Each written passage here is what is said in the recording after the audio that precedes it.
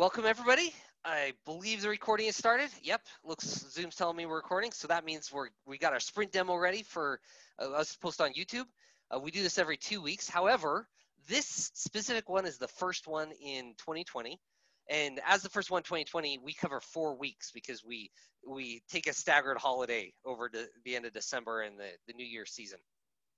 And as a as that uh, in our four calendar weeks, we had about two and a half weeks of engineering time, uh, of team time, uh, but we got a lot of good stuff done. So we're excited to show that to everybody. The looking really quickly, uh, you can see on the Indy SDK side, we completed a whole lot of bug fixing. We just our two big focuses over the last month was bug fixing and completing uh, Aries interop uh, protocol support in libvcx that's in the Indy SDK. Really excited about that. Uh, we, with the completion of that protocol work for Aries and libvcx, uh, we think libvcx, we don't have any new features we're keen to add to libvcx in the short term. Uh, we're going to turn our focus now onto Aries shared libraries and, and, and maturing the Aries layer of the stack. And then we'll figure out how to transition from libvcx over. Uh, so we're excited about that, that, that people using libvcx today can have a, can work with other Aries clients and have a clean transition. On the Indy node side, we similarly did a bunch of bug fixing. We also uh, improved the way the transaction author agreement works. We mentioned, we demoed some of this in our last sprint demo, so you can go back through the playlist history to, to see that. Uh, but we fixed some bugs there. Uh, and when we did our, in 2019, we made a lot of improvements to Indy Node. Uh, we especially to the view change. That was the the most technically complicated thing I think we did in 2019. And the we identified a bunch of corner cases with that rollout, and so we've been ticking those off, fixing those. Uh, so that was our main focus.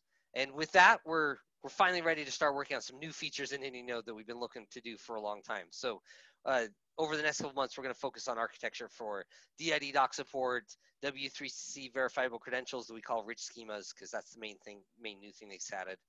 And uh, we we're digging into the new revocation that's been done in Ursa. We need to start exposing all that stuff in Node. So that's going to be our focus going forward. So with that brief introduction, the plan for today, let's talk about the recent releases, uh, and then we'll talk about the additional protocol support in libvcx, and uh, then we'll talk about some of those bug fixes that we completed in the node. Uh, fairly, fairly uh, interesting corner cases for where view change could fail or or the primary selection algorithm, uh, especially during promotion when uh, the the Sovrin network is excited to start doing dynamic uh, validator selection to be able to say, oh, this one's performing well, that should be in the pool or this should leave. So we've been focused a lot recently on testing that promotion and demotion nodes, adding nodes to the pool and removing nodes from the pool uh, goes smoothly. So that's that's been this set of, of work. So I will stop sharing my screen and let Sergey share his screen. Uh, thank you, Richard. So I'd like to tell a bit about our release at the end of 2019. So here's my screen. Actually, we had uh, two releases out at the end of the previous year. Uh, actually, they are almost the same with a small difference around IndyCLI. Uh, so I would mostly talking about uh, 1.14.0 and point one is just a small bug fix in IndyCLI. So as Richard mentioned, uh, there are some improvements around libvcx Aries. Uh, we added support for three more protocols. We fixed some bugs, some divergency between RFCs and uh, the implementations. Uh, I think we still have some ongoing discussion in community and probably we will have more fixes while stabilizing the Aries flows while working on Aries central profile. But we don't expect more feature-like changes in libvcx, only bug fixes, I think. Uh, the second point of the NDR release was transaction author agreement changes. Uh, in the, our previous demo, uh, there was a, a, part around those changes in IndyNode side. Uh, so in this release, uh, we also have Indy SDK API updated. Uh, as you may know, uh, this set of Indy SDK API is an experimental change. So we are using the ability to change that API to make it more clear and uh, easy to use. In fact, uh, they change uh, the main builder, but these changes affects only the network maintainers, not regular users. Uh, there's two more parameters around uh, transactional agreement, certification timestamp and retirement timestamp. And uh, one more function for network maintainer is a special helper to disable all TA on the ledger. And for sure, we have some improvements in, in CLI as well around TA. As usual, you can find more details around uh, API changes in um, migration guide. So it's devoted to uh, Ledger API in this case and TA. And also I'd like to mention that in um, API in Codebase, you also can find more details about corner case. I think it's a long one. Um, depending on which version you have on uh, your ledger and uh, what you would like to do with transactional agreement, uh, some parameters of this call may uh, became and change from optional to mandatory and vice versa. So please take a look on this detailed description of this API call.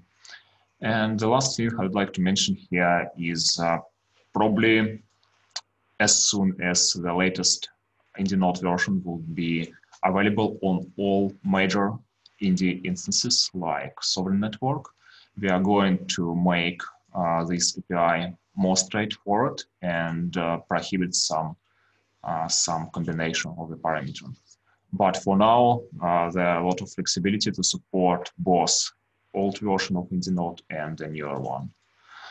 I think that's it from my side, or maybe one more update for the users of Indy SDK.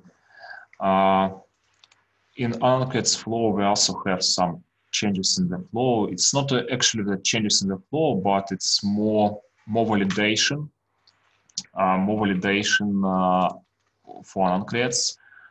Uh, so let me reshare the the migration guide and maybe the release notes.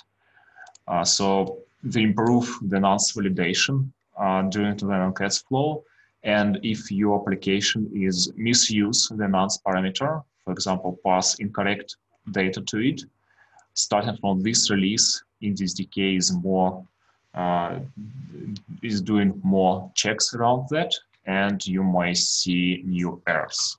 But actually, it's just it's more like a bug fixing rather changes the flow. I think that's it. Thank you, Sergey. Uh, the Sovrin Foundation currently plans to start enforcing the transaction author agreement in February, uh, depending on how the, the upgrade process goes. It might be March, but we're we're keen to get these fixes out so that it's easier for people to support that in in the very near future. So Artem, you're going to take us through the the authn flow.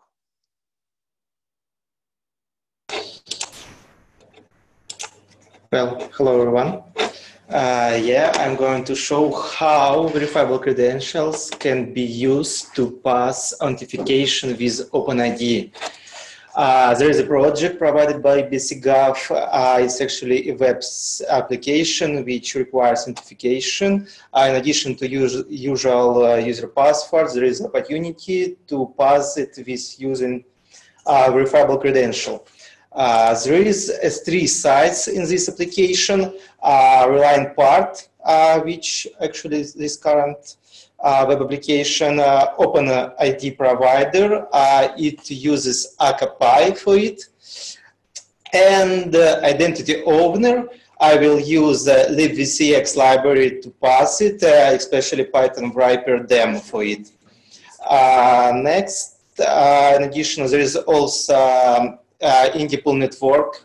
I run locally. Uh, it's for it's like for um, public identity storage. Uh, so uh, let's go. I already performed some preparation steps regarding running all components, and now I'm ready to pass it. Uh, first, there is a link. We had to pass a proof request, uh, which will be used to authentication. And next, we go to these links and use verifiable credential access. Uh, here we can see a QR code, uh, which actually contains uh, URL presented below. Uh, we go, we'll go by this URL in our browser. Uh, we will see a request which contains a base64 encoded string. And the string actually is a proof request. Uh, this proof request matches to Aries format, uh, and only difference in this proof request contains a service decorator.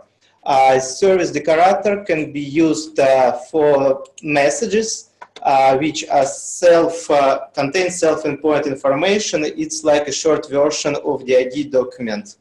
Uh, so when we uh, receive this kind of message, we don't need, don't need uh, any connection established before we can reply to this information directly.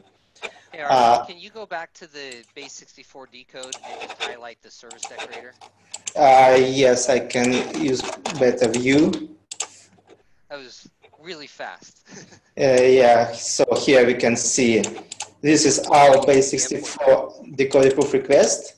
Uh, and see uh, here service decorator which contains an endpoint and one recipient keys. Actually, uh, this service decorator provided from ACA-Py instance which is run it, and we will send proof to this ACA-Py instance. So thank you. uh, let's take this URL and go to Python demo. First, I need to issue a credential for Alice. I have Fabric Python, uh, Faber Alice uh, demo, and now I already established a connection. And now I issue needed credential for it it takes some time to communication. And in the by well now we have Alice which is ready to pass uh, OpenID challenge. Uh, we choose third option, put a URL. So here we can see it successfully passed. If we will go to our application, uh, our page was redirected to updated account information. That actually means that we successfully passed challenge and we got access to application. So I think uh, that's it from my side. Excellent. I appreciate that demo. That's going to be really useful. Uh, now, anybody who's building an application on libvcx can support the the the verifiable credential authn flow, OIDC authn flow that BCGov is pushing. We appreciate the work that the team at Mattr Global did to pioneer uh, in their contract with BCGov how this would work. And uh, the next step is going to be for us to build on this for, for Evernym applications to be able to support that. So we're going to work on that quite, quite soon. Yeah, one more note, uh, this up, the scripts that I showed currently in the proof request state, uh, it will update our usual Python demo, but I think we will merge it soon. Excellent, thank you, Artem. So Alex, uh, what about the node releases? Yeah, hello everyone, let me share my screen. Uh, so uh, I have the demo, so let me start with the uh, release of IndyNode issued on the at the end of 2019. Uh, this is uh, release 1.12.1, and there are two parts, two main parts in this release. the first one is the support of transaction author agreement improvements. these improvements um, have been already discussed during the previous demo. Uh, and also Sergey mentioned them uh, during SDK release. So this is just a node uh, in the node part of these uh, TA improvements. You can see a bunch of tickets related to this. And also the uh, latest release uh, contains uh, some useful uh, stability fixes, uh, including, for example, the fixes uh, related to the limit of get uh, schema, which was also presented during the last demo, improvements in uh, ZeroMQ on the transport layer reconnection, improvements in performance related to BLS signatures, and so on. it's worth mentioning that uh, uh, when preparing the last uh, latest release, we continued the bug of our view change process. And we discovered a couple of edge cases, as uh, Richard mentioned, uh, related to uh, the view change and particularly the process of primary selection when there are some nodes demoted or added or promoted. So if under some circumstances, it doesn't mean that promotion, demotion uh, is broken, it works, but there are some edge cases uh, that under some circumstances, uh, it can lead uh, to issues that the node is not able to finish view change or uh, yeah, mostly something about this. The, the restart is a workaround, but uh, nevertheless, this sprint, we fixed these issues. So the next release should have a solution for them. And uh, saying this, let me jump to the second demo related to IndyNode. And this is a, a description of the first issue uh, of these edge cases. And Andrew, uh, the next demo will show uh, the second uh, set of issues. So uh, let me start with the issue description. the, the first issue is that a lagging node may be the only one started view change and uh, so that it cannot finish it. Uh, and this may happen if uh, we have uh, uh, up to F nodes added or promoted in one batch. So if you have a pool of four nodes, then f, the maximum number of failures is just one node. So if you just add a one node, then the issue is uh, can be reproduced. Uh, for the Sovrin network where we have like 25 nodes, uh, the probability of this issue is not so high because f there is about uh, eight. So it requires some uh, really uh, unique circumstances. Nevertheless, the issue is the following that let's assume that we are adding node five to a pool of four nodes, four nodes, and uh, let's assume that this node is added, that corresponding transaction is uh, ordered on uh, nodes two, three, and four, but hasn't been uh, ordered yet on the node one. And let me remind that uh, every addition or demotion of a node uh, is a transaction, is a transaction in the ledger, in the pool ledger in particular. So it follows all the same rules as for any transaction in our system. And uh, according to the logic that uh, was before the fix, uh, the uh, quorum parameters, for example, the number of nodes, the F and so on, they are updated uh, immediately after the node is added. That is, the, uh, the corresponding transaction is committed.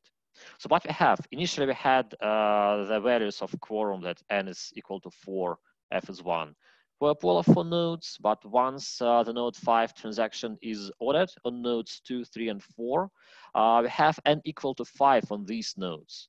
And on node 1, it's still 4. Uh, then, uh, according to our procedure, once a node is added, uh, the view change is started. And um, uh, what we see here that only nodes 2, 3, and 4 propagated the instance change message since only these nodes added the view, uh, added the node.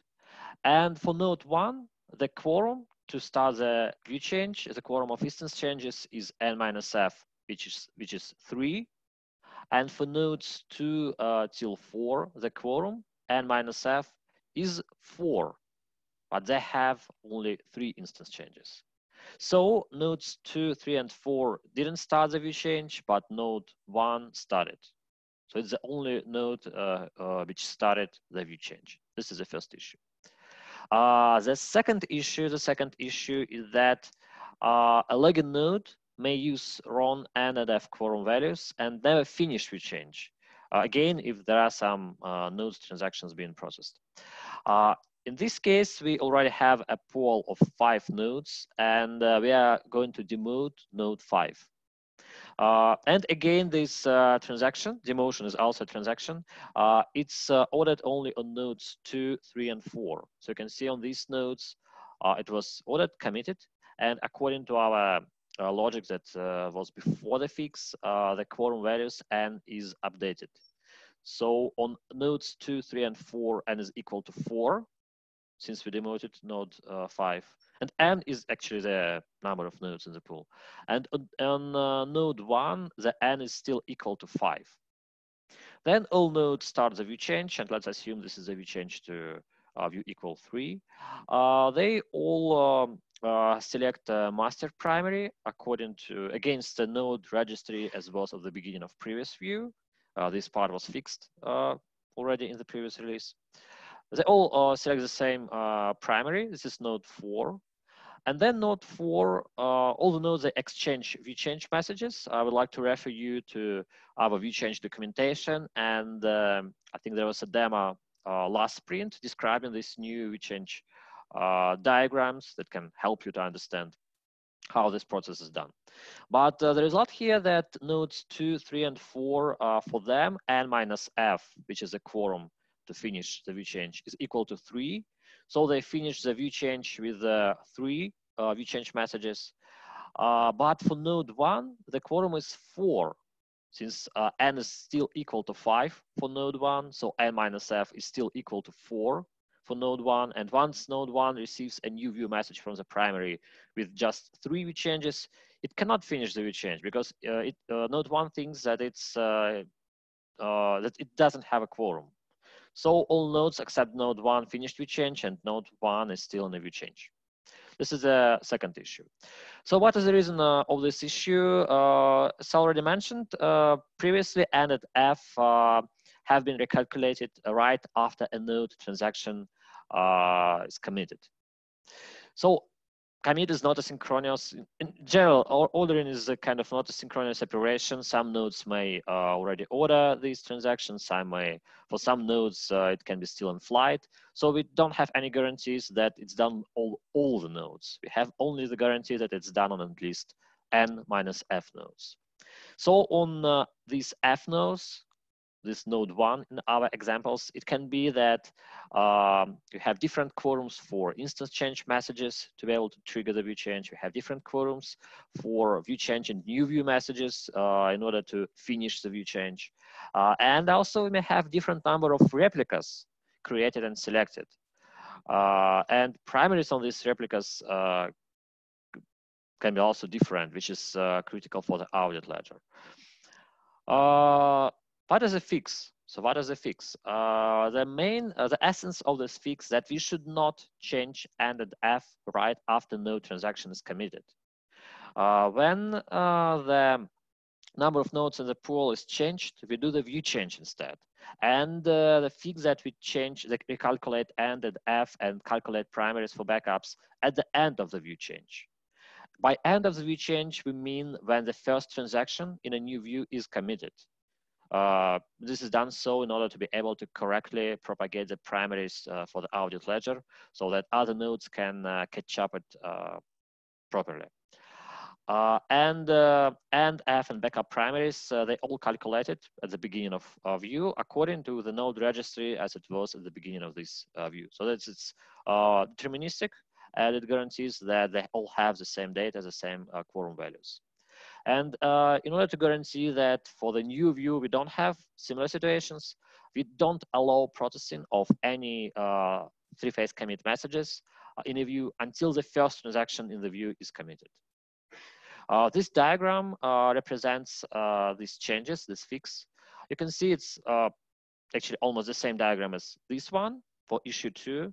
But here by bold green, we mark the difference. Now, once the demoted node transaction is ordered, we don't update n immediately. So it's still uh, equal to five on all the nodes, regardless of if uh, the demoted transaction is ordered, applied or not. So they all select the same master primary. They all uh, set uh, in process new view with the same number of view changes and expect the same quorums. They all finish the view change. Uh, then they all can order the first transaction in the new view, and only after this, they update N, F, and select the backup primaries against the just changed node, node registry. So in this case, after the change is finished, they only at this point, they will have updated N equal to four, uh, F is still one, a master primary is node four, and backup primary is node one. You can see that it's uh, selected against uh, the node registry as the beginning of last view, so node 5 is already demoted and it doesn't participate in the selection of uh, backup primaries. Uh, in this slide, you can see references uh, what uh, services, what classes in the code are touched by uh, this fix. Uh, and there's a number of tests proving that everything works as, as expected. In particular, this test representing the issue one, and you can see that it passes now. Uh, so that's all. Any questions? That is a fairly involved corner case. I can see why our testing didn't didn't detect it originally. I I'm actually impressed that during the simulation tests that we found this before before it impacted anything on the main network, because uh, there are a number of things that have to all happen in the right order for for that problem, uh, either of those problems. Thank you very much, Alex. Andrew's going to take us through a, another of these corner cases. Uh, hello, everyone. Uh, let me share my screen. Uh, hold on. Mm -hmm. Mm -hmm. Mm -hmm. well, I'm going to tell uh, about uh, another age case regarding to primary Andrew, selection. Oh, no. So. You hit no. present, and I think it went to a different no? No? Uh, you should, I think, present uh, the different window where your presentation started. Oh, sorry.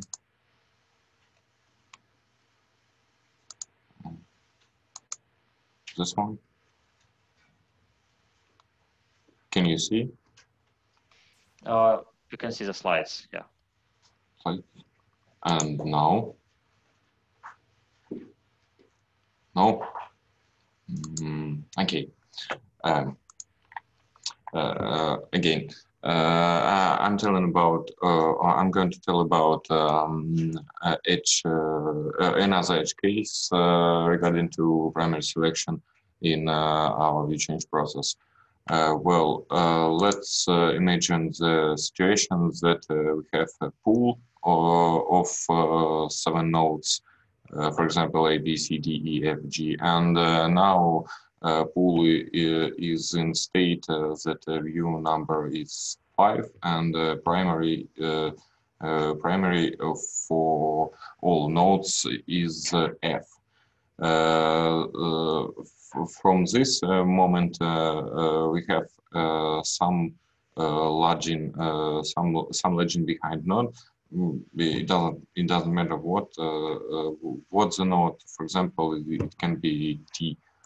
Uh, then uh, uh, pool ordered uh, node transaction for adding new node to pool and now we have logic that after adding new after adding or demoting some node we will run a view change process and uh, uh, normal nodes normal nodes uh, uh, will uh, jump to view uh, six, but lagging node not. And we have a primary node G for normal nodes, and for lagging node, mm, no. after this, oh, oh, oh, sorry. Uh, the significant uh, remark here is that uh, uh changed uh, node registry will be used uh, only for future view change process, not for current. after that, we have after that some of view change will be happened and pool will jump to uh, uh, view 7 and uh, uh, uh in uh, into this uh, view change process previously locked node will be mm, will be awaked. And all of normal node will have uh, updated node registry for primary selection, but uh, uh, like lagging behind node not. And this uh, in this case, lagging le- ledged uh, will choose primary for for primary node node A, um, but uh, other nodes uh, will choose uh, node H. Uh, well, what's about the fix? Uh, the simplest way to fix uh, that issue uh, it's, uh, is uh, we can we can process and store all of new view messages from all of nodes, and in in a normal way, uh, mm, view change would be closed or would be finished. Uh, uh, after uh, receiving a new view message from a future primary. But uh, in case uh, that I uh, that I described below, uh, that that I described above, uh, uh, uh, we can uh, finish uh, view change uh, by uh, uh, receiving a quorum of a new view of the same new view message from uh, the other node. And uh, mm, mm, as you see, uh, we, uh, as you can see, we have a, a integration test uh, that uh, mm, now passed for this issue. Mm, I think that's all from my side. Edric, can, can I please share, share your integration test? Uh, integration. Nah.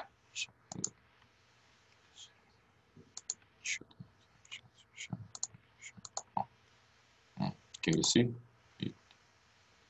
Yep. Yes, thank you. Yeah, and uh, it passed.